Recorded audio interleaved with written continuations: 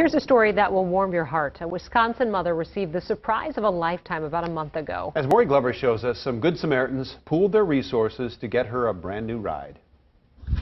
Hi, how you doing? Lisa and Jessica? Yep. You are about to see a single mother get a second chance. We're here because your mom posted on the Hudson board about somebody needing a car. An emotional moment captured on camera, created by the kindness of a group of strangers. It, it felt really good. We felt blessed last year, so we kind of made it a goal to do something for a stranger this year. This all started a few weeks ago when Tony Wind went to sell his old Ford Focus and noticed the bumper sticker on the back.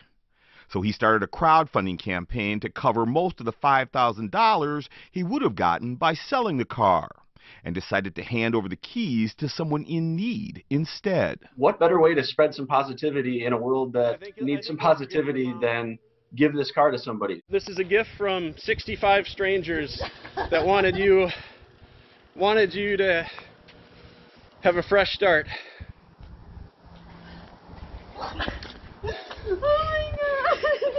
A friend pointed Wind to a woman on a community Facebook page who posted that her daughter, a mother of two, needed a car to find a job and visit one of her kids more often. Oh my god, can I hug you? Of course. So Wind and the woman worked together to get her daughter to Wind's house in Cottage Grove, where they surprised her with the slightly used set of wheels all tied up in a bow. This this is this is yours. Oh I don't have to share this with anyone. You don't have to share it with anybody. It was really amazing to see, you know, how grateful she was for something that so many of us take for granted. After the big reveal, a flood of tears and gratitude. Finally something good. I have a car.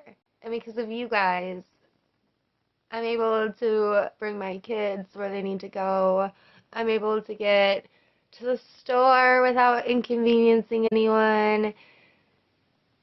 It's amazing. Thank you. And Wind hopes her act of kindness inspires others to put someone else in need in the driver's seat. Band together with the community, do something nice for somebody. Maury Glover, Fox 9.